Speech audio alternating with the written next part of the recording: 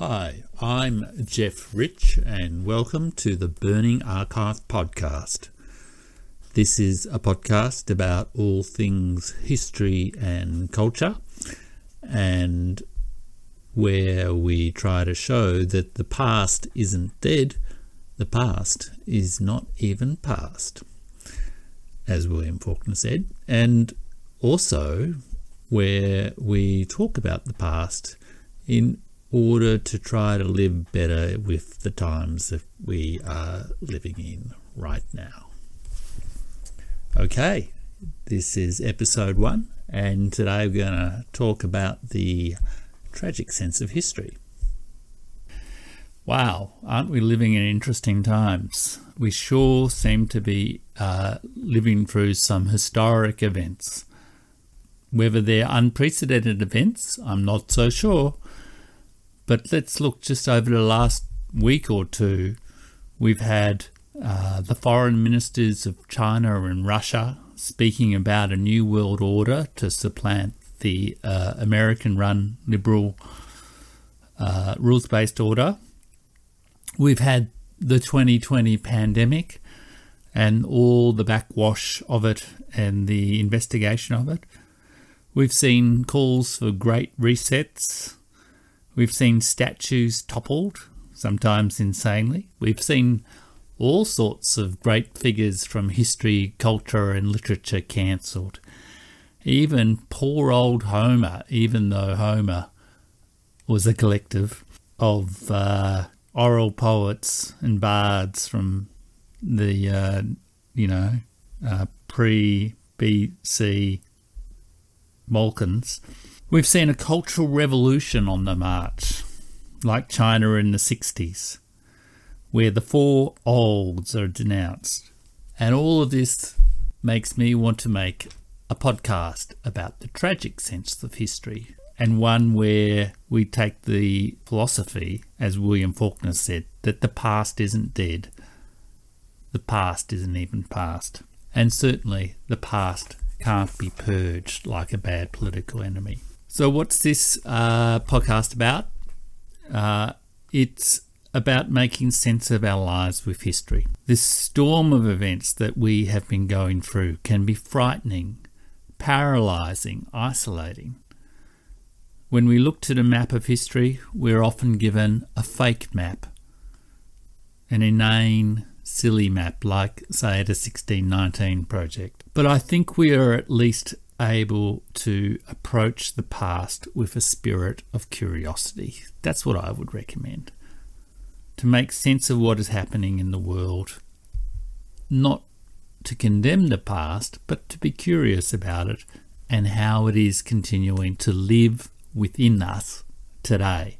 The tragic sense of history also means that we approach the past with a sense of humility, aware that our culture is a gift from an infinitely complex past of people rather like us in most respects, even if they seem strange and different, and that we should at least hear out before we tear it down. A sense of humble gratitude, but also humility before the power of the past and of the march of historical events, the firestorms of history, which will ultimately tear us all down into oblivion, overwhelm us all, even the most zealous progressives who will fall like Ozymandias' statue in the desert. This makes history tragic.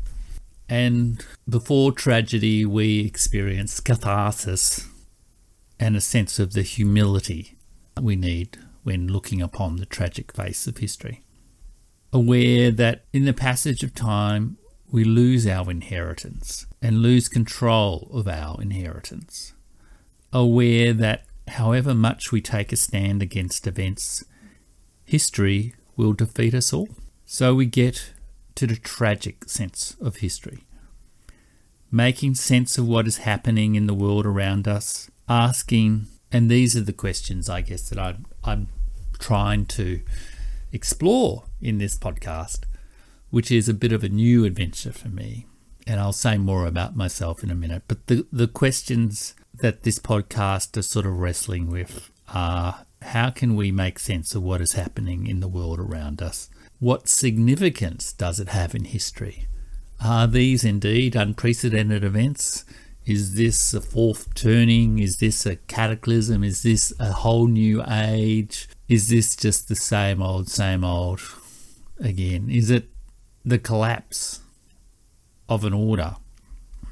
A great reset? What can history show us to understand these events and their meaning for our lives more clearly and more deeply? Want to do this not from the perspective of an academic historian, which I am not, although perhaps I once aspired to be, not from the perspective of a grand master of world events, some Henry Kissinger discerning in history the true meaning of his political schemes. After all, we will probably get it wrong, get our interpretation of matters wrong. And yet, we do have a moral responsibility to pursue our curiosity and to try to render the world that we find as truly as possible. So, about me and why I am podcasting. So, again, my name is Jeff Rich. Uh, I'm a new podcaster. Uh, this is my first ever podcast. Um, I because I am writing a, uh, I'm talking here about history, and I guess writing the scripts of these podcasts as well.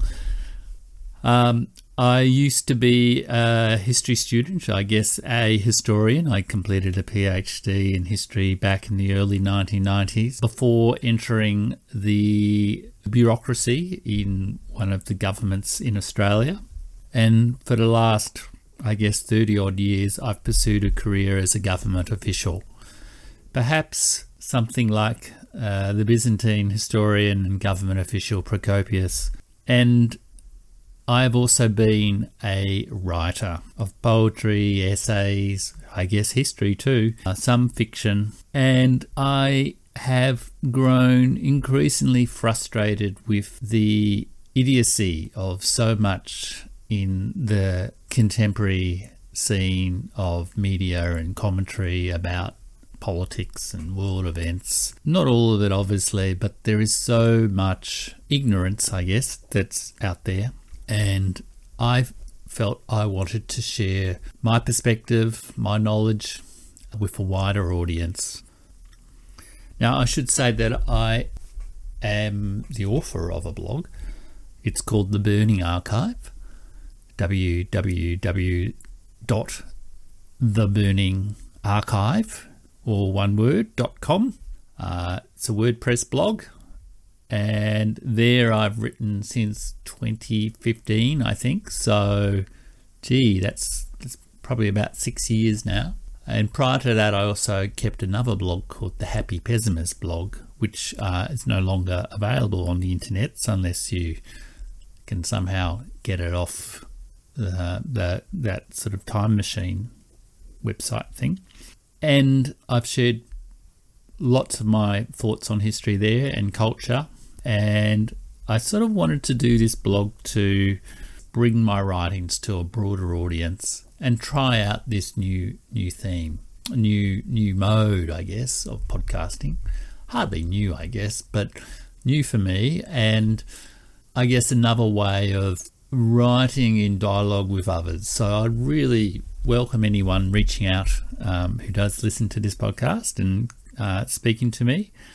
And you can also go and check out more of my writings and comment there on theburningarchive.com. And the other thing I'd say about all that is I've the Happy Pessimist blog was for a long time um, done through a pseudonym.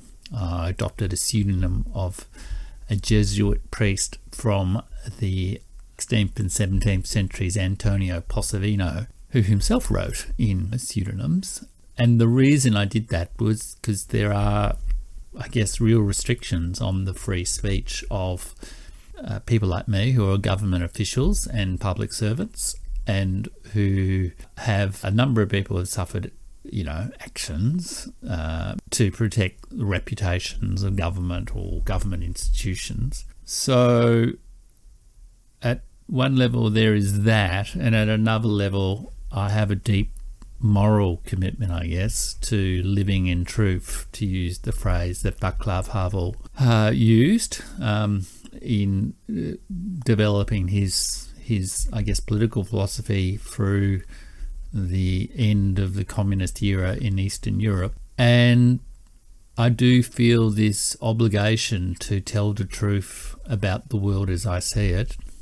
Even if few people might share my ideas, I don't really know. But as I witness this collapse in confidence in broadcast elite culture, to me there is this need for for those of us who can see a more authentic, parallel culture, a second culture, or a parallel polis is another Czech dissident who was a colleague of Václav Havel in writing Charter 77 said, I feel an obligation to contribute to the construction of that parallel polis and hope that maybe a deeper, richer culture can emerge that we can all participate in when the giants of big tech and big media and the decadent political elites who control our parties and governments so often collapse. So, this podcast is a bit of an experiment and an elaboration, maybe, of some of my other writing uh, at the Burning Archive. And I think it's also probably a recovery of my voice as a historian. You know, I studied history back in the 80s and early 1990s and gave up uh, a career in the academy because in part to pursue a career in government in part because uh, I, I really didn't know how to advance my career in, in the academy. And yet I I think I've always wanted to be a kind of historian and so this podcast is a way of perhaps reclaiming that voice to write about the past, how it, how it, or to speak about the past, and how it relates to present day events and how we can see present day events differently with knowledge of the past, comparison with the past. Not that everything, you know, is the same as it has always been, not that it's all a tired, tired, cynical rerun of things that have happened before.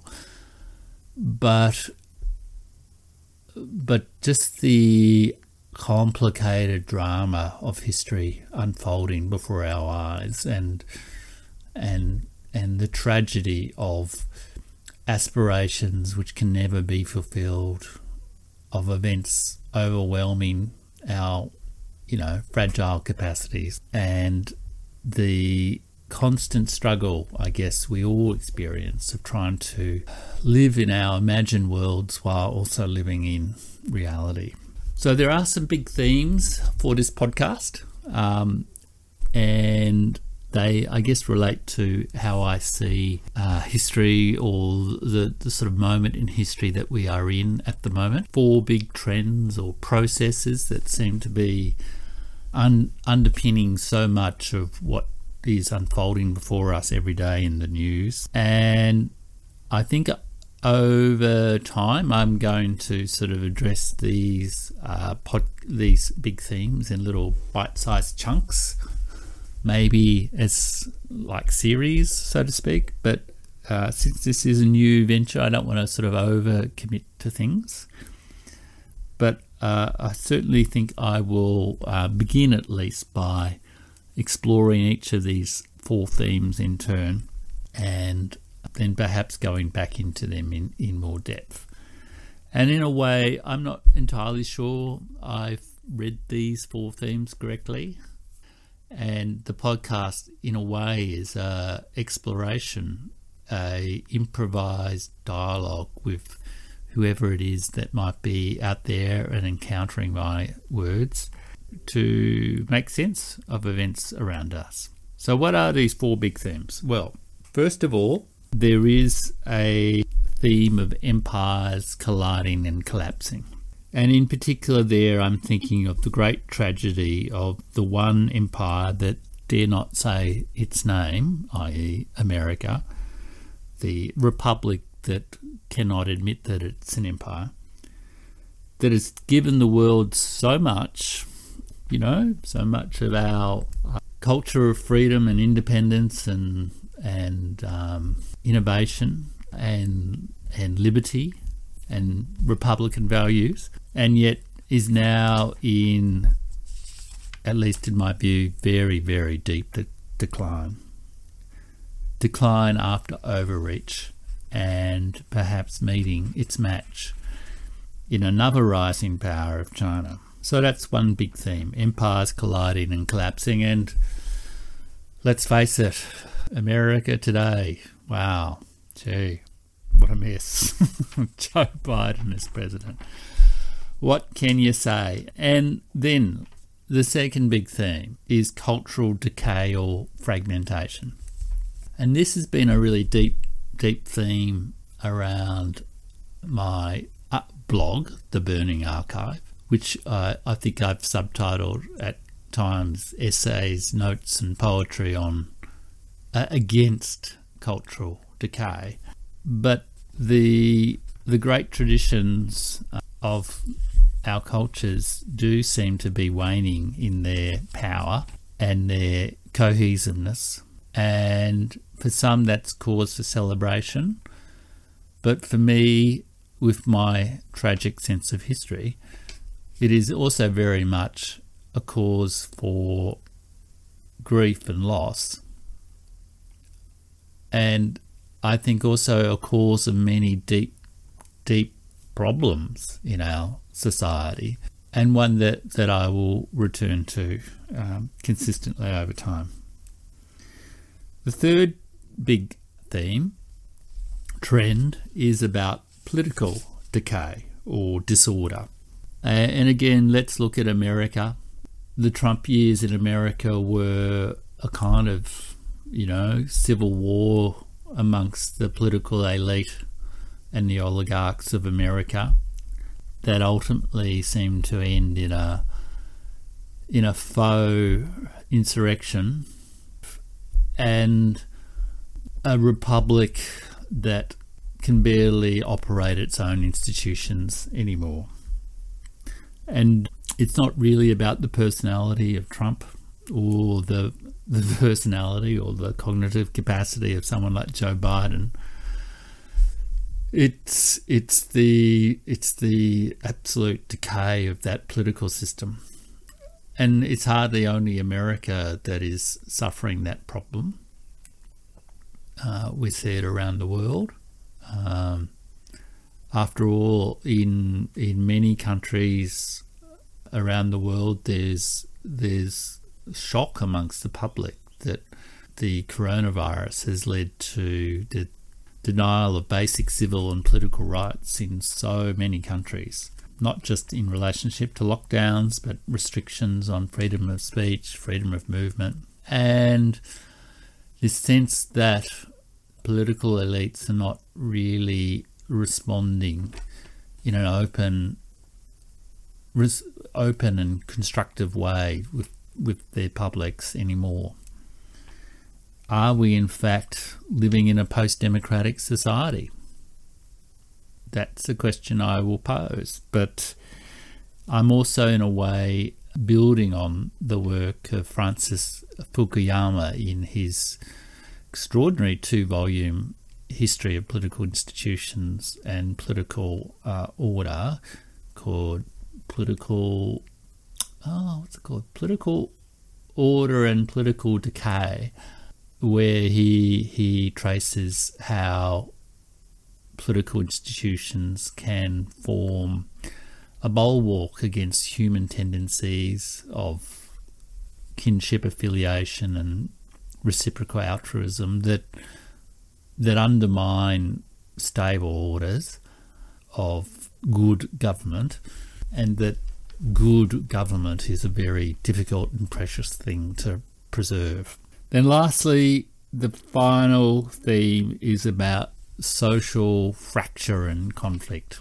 Clearly, we've lived through a year of riots on on race and uh, ideology, and I guess growingly, increasingly, debates about the right response to the pandemic. But there's also clearly enormous competition amongst the elites in our society for control of the great institutions and a growing sense of, of conflict. And in a way, I feel this big theme is perhaps the least well articulated at, this point for me, but one which I will come back uh, to again, uh, including in relationship to a, a, a, very fine French anthropologist slash historian who's written a book called, I think, Lineages of Modernity, uh, which, which, which I think also illuminates some of the, these key trends. So they're the four big themes: imperial rivalry and collapse, cultural decay and fragmentation, and I guess implicitly, what are the prospects of of a, a renaissance of a second culture, political disorder and decay, and what is the prospect of a rebuilding of good political institutions, and finally, social conflict and fragmentation. What makes sense of the the social world that we're experiencing and, and the way in which it seems to be falling apart. Is it really so? Are things actually getting better? Or are they getting better at the cost of some sort of sense of connection to to social life that that uh, perhaps was better known in past times but can't really be recovered in the world of social media and and lockdown and identity politics. So I'm going to begin the first few podcasts talking about the first of those themes, the one about empires. Uh, and that will involve taking a look back at events of the last few weeks and of the last year or so, and including, I guess, China and Russia's challenge to US imperial hegemony and the shifting balance of geopolitics in the world, and the the the, the American emperor falling uh, on his red carpet stairs and I guess underline those questions, which you know seem very grand, but for me, and I don't live in America.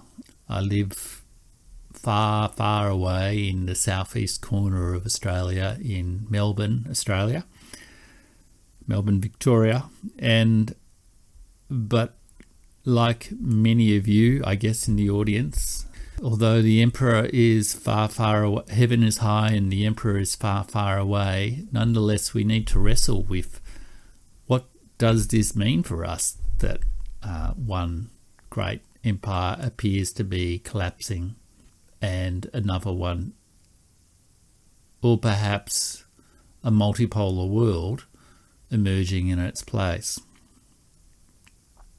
what does it mean for our, our daily life, how we make sense of events, which commentary on events we pay attention to. What are we losing? What are we gaining? This is not really an outcome anyone perhaps is really seeking, and it's hardly a series of events anyone has the capacity to control or strategize about, despite any grand illusions otherwise. So, what are we? What what's our obligation as citizens of the world um, as this this great tragedy unfolds before us and the American Republic appears on the brink of some very difficult years. So, to wrap up, that is the tragic sense of history a bit about what I mean by that title, who I am, and what I mean to cover in my podcast. I hope you are curious about it and want to hear some more. I'm planning to do either a weekly or fortnightly schedule, depending on how I go with things. I can't promise more than sharing my perspective and views on the world. Uh, at some point, perhaps the podcast might evolve to have guests and interviews and all that sort of thing. But uh, for now, I'm beginning with just my, you know, monologues. I hope they're of interest to you, and I hope they can help illuminate for you uh, something about the historical times that we're living in, the resources that we have in this extraordinary world of the internet and digital media to and education to to comprehend our place in the great flow of historical events and indeed the importance of listening to history to make sense of today. I hope my disposition towards history is of interest to you. I'd like to emphasize, I guess, that the tragic sense of history is not a, a rigid view. I think at times history is best rendered as a comedy, a satire, uh, a farce, even. But underlying it, there is this sense of deep, deep tragedy, and perhaps the moving character of that is perhaps what draws us most to trying to understand the deeper events we're experiencing. And I hope I've given you a little bit of a sense, which I might return to more in, in later podcasts about how I came to history and how I use it as a source of meditation and wisdom, if not mastery. Definitely not mastery.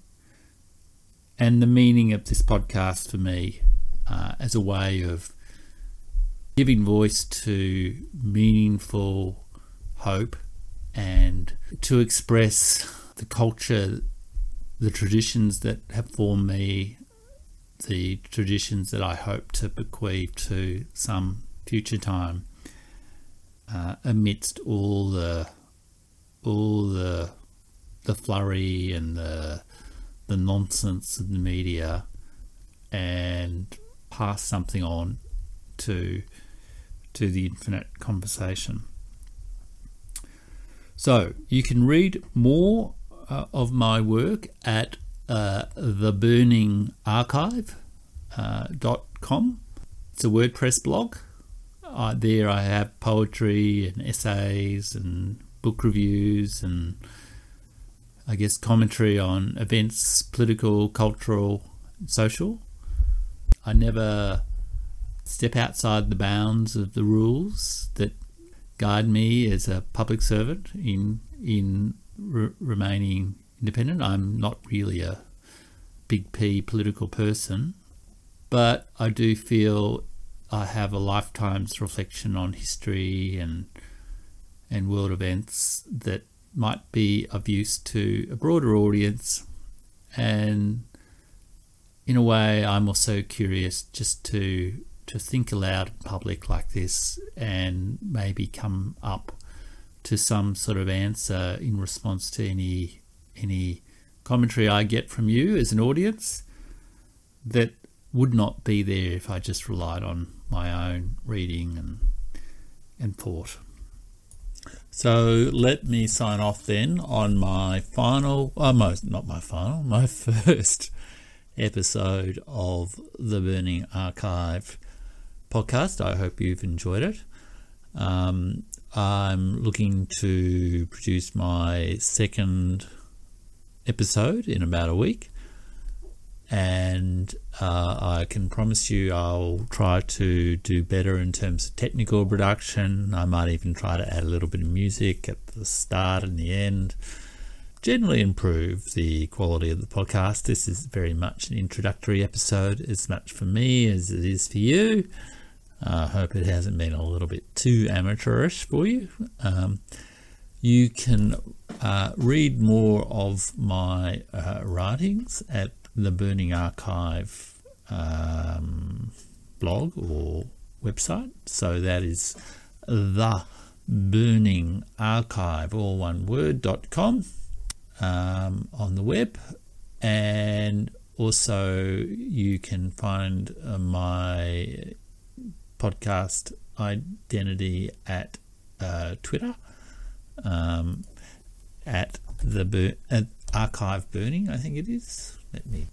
Yeah, well, it's it's the burning archive at archive burning, and uh, maybe I might have some more social media channels before too long. But that's it for now.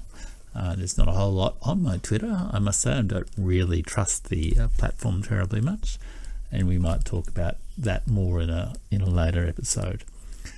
Um, however, if you do want to uh, leave a comment or a positive review of my uh, first venture into podcasting, that'd be awesome. I will talk more next week uh, about the theme of imperial decay and imperial rivalry, and a little bit about um, uh, whether we have a empire in denial in uh, the modern world and um, just what that might all mean for us as we try to live well in the 21st century. Okay, I will check you out there uh, next week. Uh, and in the meantime, just remember that the past is not dead, the past is not even past. And see you next time. Bye.